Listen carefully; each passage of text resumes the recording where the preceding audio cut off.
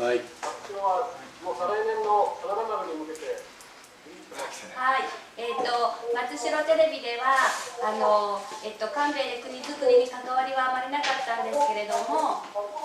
えー、このノウハウを再来年の真田丸に生かそうと今研究中です。えー、松代では松代町、えー、調子悪いね。はい。ミュートしました。聞こえますか。ゆっくりされる。これも急に。あ、音が消えちゃった。んで、ちょっと後でまた。行きます。はい。はい、こっち取りますね。はい。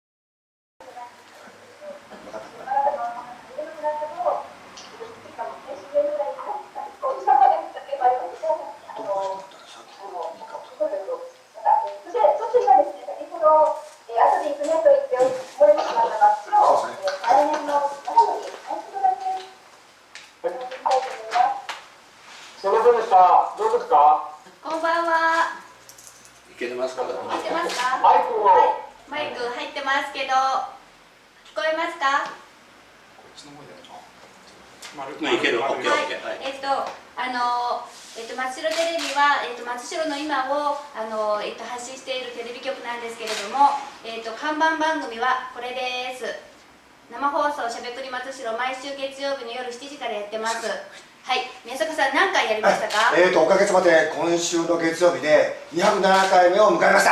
はい。207回も毎週やり続けて、ね、えっ、ー、とえっと何だっけ？たの、えー、嬉しい賞をいただいたんですよね。そうですね。えっ、ー、とこれですえっ、ー、とデジタルコンテンツのねリージョナル賞をいただきました。はい、えっと、そうやって、まあ、あの生放送をやり続けてきたんですけれども実は、えっと、ここは、えっと NPO 法人夢空間という、えー、団体の場所をお借りしているんですけれども実は街歩きセンターなんですが加山さんここはどんな場所になっていたでしょうか？そうですね。みんなをいろんな人たちがですね集まってきてそのそこから街づくりがたくさん生まれてきている場所になってますね。観光客も来てきてますし、はい、若い人たちもねこれから、ね、だんだん集まってきてます、取り込んで若い人たちを取り込んで、このノウハウを再来年の真田丸に生かそうとただいま研究中です。ということではい。まあ、勝利頑張ります。よろしくお願いしますはいありがとうございました来年本当しっかり宣言しましたんでね。やりまし ょうね。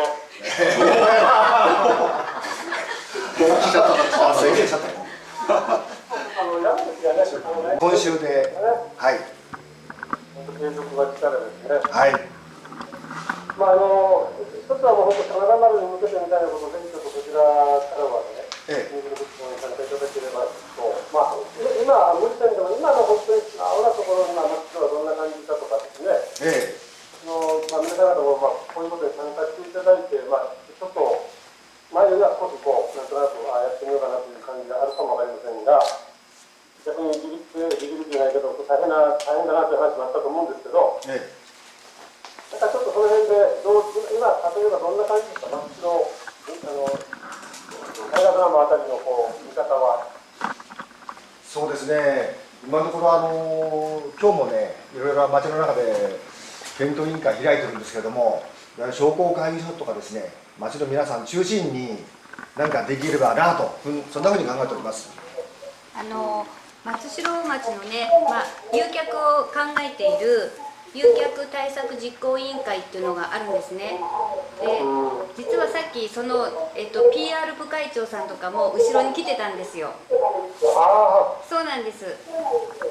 それでそういうあの、まあ、誘客の方のその PR 部会なんかともこうタイアップしてでそれを松代テレビが、まあ、応援するっていう形も含めてあのこのサラダ丸のことも考えていけたらいいなっていうのを今みんなで考え中ってことです。ですね。そうです。それにそのしゃべくりがそのね百何十回もやってらっしゃる例えばその中で何かこうサラダ丸に化するような話とか人とかは今まではなかった。までにええは、今までは特になかったです、あそうなん。ですね。まえだない、でもこれからまあでも、ね真田に関するようなゲストは来たことがありますよね。ね。ええ。うん。真田家に関するゲストは来たことがありますので、えまあやはりあの先ほども申し上げたんですけどもやはりあの毎週月曜日のしゃべくり松代をこう継続していくというところが今本当に私ども精一杯というようなことで、まあそうですよね。はいまああのそういう意味ではそのちょっとこの前から皆さんにお伝えしてますけど、今再来年なのでね、はい再来年なので来年あのまあ実は山口にも当然商品の間に関係しますよねこっちね。そうですね、はい、佐久間象山の門門下だったですよね、吉田松陰はね。まあそれで言うと、まあ佐久間象山ってね来年キラキラキラキラちょっとこう。あ参加していただいたりいろいろ全的にやっていただくと、えーまあ、皆さんからとそのお仲間だけでは本当にちょっと大変だと思いますので、はいまあ、1年かけてちょっとお仲間を少しずつ増やしていって、でまあ、西田さんなんかもね、もうボランティアスタッフ山ほどいらっしゃるので、これはやっぱり身体戦術で、あのやっぱり一人の負担はできるだけ、まあ、基本的にボランティア活動ですのでね、一人の負担ができるだけ少ない状態でいっぱいいらっしゃる状態をしていかないと、なかなか国政塾、本当難しいと思うので。そうですねあの来年に向けてちょっとそういう一つのこう目的をちょっとイメージしてもらうとなんかこちらもまたいろいろご協力もしやすいとは思いますので、ぜそうですねひちょっとその辺でよろしくお願いいたします。えー、と私どもあの昨年も今年もですね、えー講座などを開いてですねあのいろいろ皆さんにご協力いただこうと開いてるんですけれどもどうしてもあの人が集まらなくてですね今の本当にあの現状では本当に先ほど申し上げたんですけども手一杯で それをね、あのさっき、えっと、加山さん帰っちゃった。はいあ、加山さん、加山さん、ははいい。加山さんがちょっと考えてることがあるので、喋っていただいて。はいどうぞ。今あの町代の中では若若者会議というのがですね集まって若者会議町おこしをしていこうということで、まあ、30代くらいの人たちがいっぱい集まってきてますので、まあ、そういった人たちにもね声かけながら若い世代も一緒になってあのこの情報発信できるような真田丸に向かって何か取り組めればいいかなっていう今すごく燃えてきつつあるところですね。はい。これから期待してください。なるほど。ねなんかね、そういう方々もそのしゃべくりにいただいたりみたいなところから、少しずつね、そうですね。やっぱり関わる場をどんどん作っていくってことが大事だと思うんで、まあ、自然にですねそういった関わる場を作っていく中で関心持ってもらいながらやっぱり情報発信っていうところにこう世界に向かって情報発信できるというそんな体制ができてくるんじゃないかなっていうふうに思ってますけどね。はい。まあ、あのそういうその現場の動きと、あのまあ、ちょっと海外に関して言うと、まず先ほど佐久間道山で来年はちょっとね、具体的に少しずつまたあのこちらに参加いただくということをちょっとね、確認しながら。で、まあねえっと最終回の26時間テレビもできたらちょっとその佐久間道山、私も名前知ってますし、えー、そっちの方は福井なんかにはあの熊本の横井町なんか出たりで、割とね、な長野とかそのあの北陸とかのあたりは、あのえっと幕末あたりってすごくあの一つのキーポイントだったと思うんで、場所的にもですね。はいまあちょっとその辺をまた26時間的にちょっとちょっとお話しいただきながらですね、今のようなこう仕組みの話とか、だからまあ単純にあの今回あの上田の方がね、まあいわゆる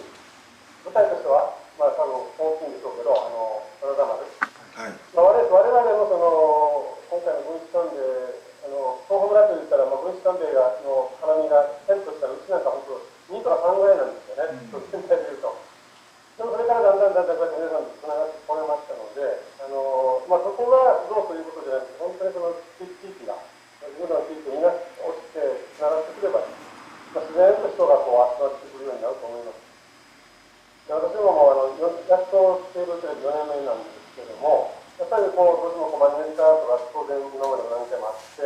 まあ、その度にこんなことをいろいろやってるとの逆に大変なんだけどこれからあの我々のこうメインスタッフがすごい毎週顔を合わせてもう夜あの今日もあの京子さんっていうのは朝6時ぐらいからハウスであのジュリアジュリア撮った後にもう眠たいのに8時のあのもうほとんどマスターを落としながら中継やってるんですよね。でもそれがもうずっと40数で続いていくと、まあ、ちょっと習慣になっていって、でそこでまあいろんな方が集まってということで、自然とこうコミュニティが広がってきたり、うちもスタッフがなかなか広がらなかったんですけども、この時間でまたいろんな人がそこの時に来たらもうすぐスタッフになっちゃうみたいな感じで、まあ、かなり層が分厚くなってきた。なのであの、大変という部分と逆にやることによってこう今抱えている課題が逆にドーンとこうなんかどっかで覆られるような効果がね、あもちろんこれはベースは無理をしないという、ベースは無理をしないということで、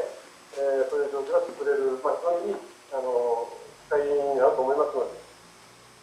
ぜひぜひ本当、これからよろしくお願いいたします。こちらこそよろしくお願いします頑張りますよろしくお願いします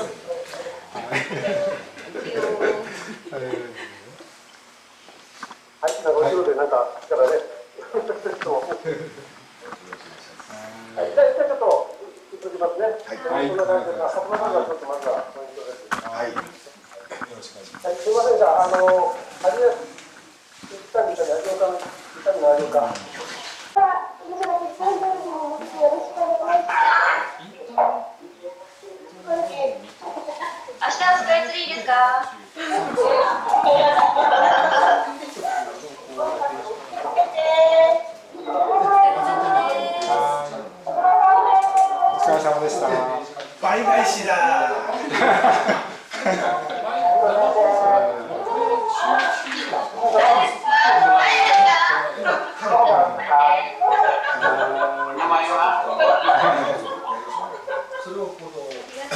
どこで切るかどこで切っちゃってい。